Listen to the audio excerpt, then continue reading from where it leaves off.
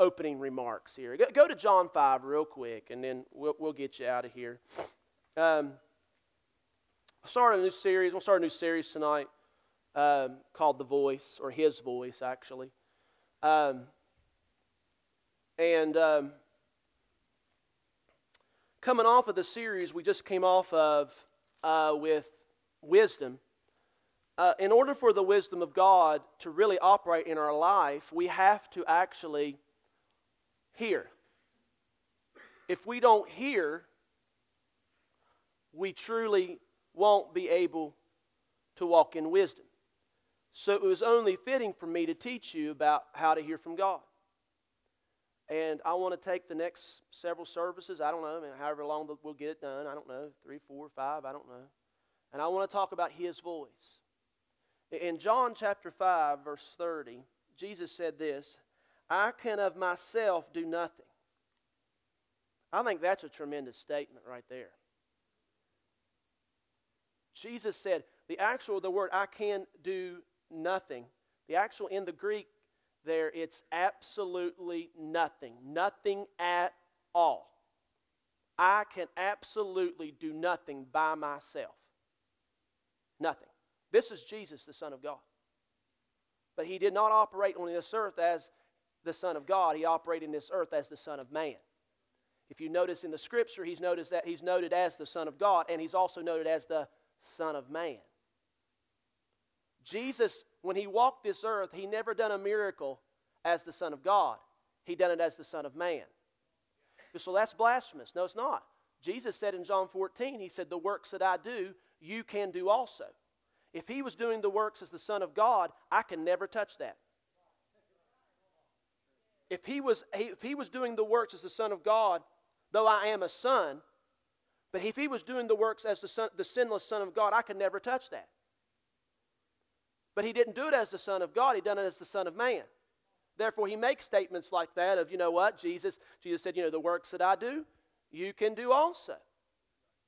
And greater works than these shall, I, shall you do because I go to my Father. Well, why is that? Because he was operating as a man. Scripture backs it up. Philippians chapter 2, Hebrews chapter 2 talks about Jesus becoming a human being. He became a man. He put on an earth suit. He had limitations. So I say that because the Bible says right here in verse 30, I can of myself do nothing. As I hear, I judge, and my judgment is righteous or right because I do not seek my own will, but the will of the Father who sent me. Jesus said, I hear, and what I'm hearing, I'm judging it. So, evidently, listen, if everything that Jesus was receiving was pure and right and holy, then why would he need to judge it? There would be no need for a judgment. Because Jesus was trying to filter it just like you and I. Are you, are you with me here? So I, I want to, in the next few weeks and the weeks to come, I want to talk to you about how to hear God's voice. You don't want to miss it because I'm going to show you. And this is the deal. And I'm using the illustration of, of the TV reality show, The Voice. And uh, the one thing that the blind, I, listen, I, it's not like that I I mean, I'm, I, the only time, the only time, I've watched this thing for the blind auditions. I don't, even, I don't think I've watched the whole thing through. I mean, I, not that I don't want to, I would like to. I hear the girl from West Virginia got kicked off last night. That's what I heard. But this is the deal: is that I love the blind auditions. The rest of it, I could care much. I don't care much for. It's just not as fun. But I love it when those judges' chairs are turned around, and they can't listen. They can't judge on somebody's appearance, where they're skinny, tall, short, built, doesn't matter. Right? Doesn't matter. Young, old. Whether they dress right or didn't dress right or uh, dress fancy or not fancy. Right? It didn't matter. They're listening for a distinct sound, and the sound, they're looking for somebody to add to their team that way they could become a champion. Right? Jesus said, As I hear, I judge. this is the deal is that there's all kinds of voices coming at you and I. And if you don't watch out, you'll let your reason get in the way. Come on, has anybody in the room ever been here? You'll let your senses talk you out of things. You'll let emotions talk you out of things. You'll, you'll have your, your, your view skewed. If you don't know his voice. If you don't know his voice. There's many voices in the world. Come on. God's wanting you to turn your chair. Because He's wanting to make you a champion. He's wanting to make you victorious in your life. He wants to make you victorious in your marriage, in your children, in your family, in your relationships, in your finances. Come on, we heard people, these, are vic- these were victory shouts in here. These were things that God has done for people. God wants to make you an overcomer. But if you never hear His voice, you, you and I will never be able to really walk in the victory that we need to walk in. You say, well, Pastor Paul, that's unrealistic. No, it's not. Listen, everybody in this room, if you're born again, you have the ability to hear. It's not hard. We make it hard. Come on, we listen to everybody's opinion about, well, well, God don't speak anymore. Are you kidding me? How'd you get born again? How'd you get saved? You heard? Right? I mean, even the Apostle Paul said in Romans, the 10th chapter, he said, Listen, how can they hear without a preacher? So we all came to the place of accepting Christ, and, and well, how did you? You heard him in your heart. We're, we're expecting God to speak out of the heavens like some audible voice. And I'm going to show you it's not that. Hearing the voice of God comes from the inside. Amen. It comes from the inside. So God is wanting to know what His voice sounds like. That way you can turn the chair. You say, Yep, that's Him right there. Don't you know that sometimes when you look at situations and circumstances of life, that things don't look, it's that, that things don't appear, things are not what they appear. And if you and I are going to pray and prophesy over a nation, you, me and you are going to have to learn to hear God's voice. I'm closing. That's my first closing.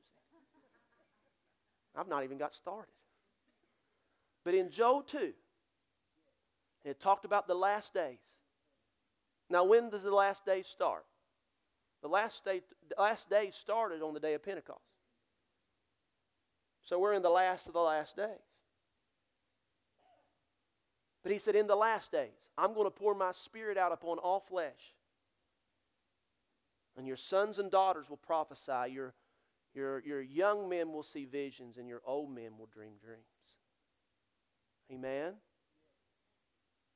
God said in the last day there's going to be an abundance of people that can hear from Him. Hearing from Him. You got to hear God. I got to hear God. Tomorrow you need to hear God. This weekend you got to hear from God.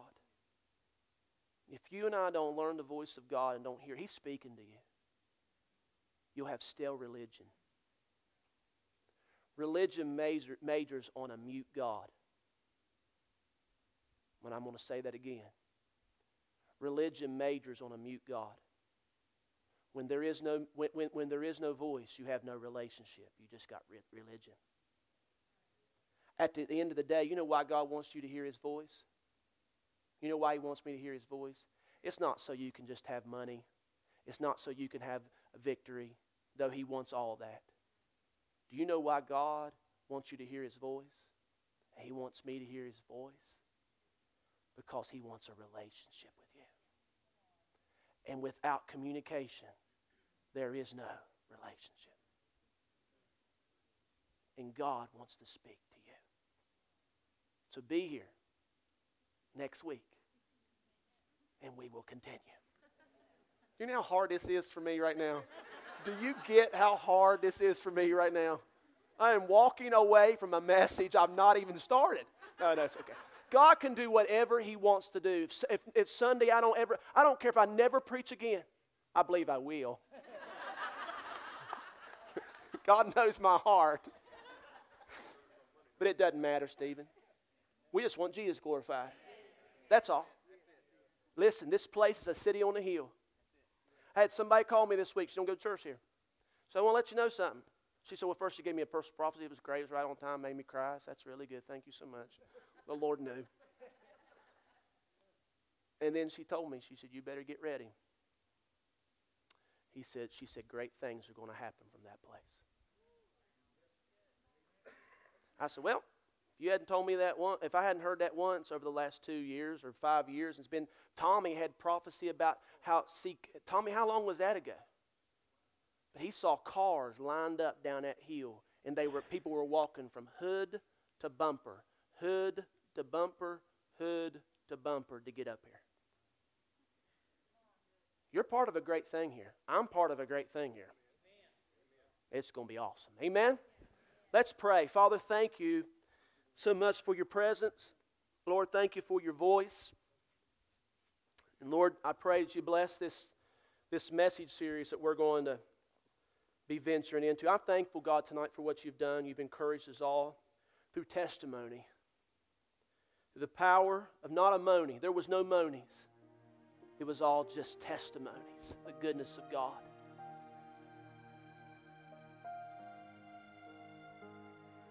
I want to say this to everybody in this room.